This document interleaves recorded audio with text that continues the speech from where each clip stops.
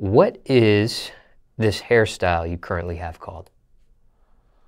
Shit, wicks. I, that's what I'm thinking. They wicks. You feel me? We lock them up. That's how we do down there in Florida. We lock them up. Is there a meaning behind your hair? Um, ain't really no deep meaning though, but I really had it in my mind. Okay, this how this how I did it together. This how I did it though. Like I told you, I had a situation going on prior. You feel me? And a lot of shit had transpired, and I had went through. You know what I'm saying? Like a, I ain't had this hairstyle at first though. So when I came back making music and like doing what I was doing, though, I told myself I'm gonna rebrand myself. You feel me? Like reinvent myself, though. So when I did that, I just came like with a whole new look. You feel me? Like I slimmed down a little piece, got my hair, you feel me, locked it up like this.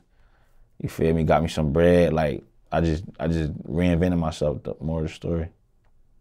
Anyone inspired this? Nah, ain't nobody inspired me. People think you look better with this hairstyle than previous?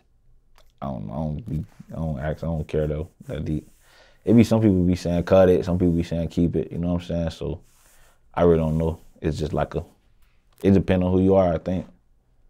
Who you is, I guess. And at this point, the length we see today, how long has it been, time wise? I got this shit done in like what this month is right here. October 2020. Yeah, I got it done like November 2019. Yeah. At this point, are you keeping it at a certain length or are you just letting it grow?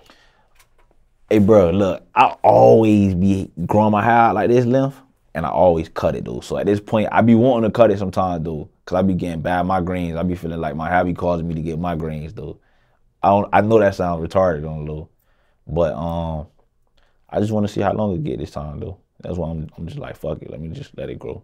Is this the first time you've ever locked your hair? Nah, I had. I mean, I had dreads. They went like this dude. I had other dreads, and I just cut my shit. You feel me? Grow my hair back out to like a little fro, be nappy and shit. You feel me? But I don't even know what made me get these, bro. I just grown my shit and it just turned into this. That's how it happened though.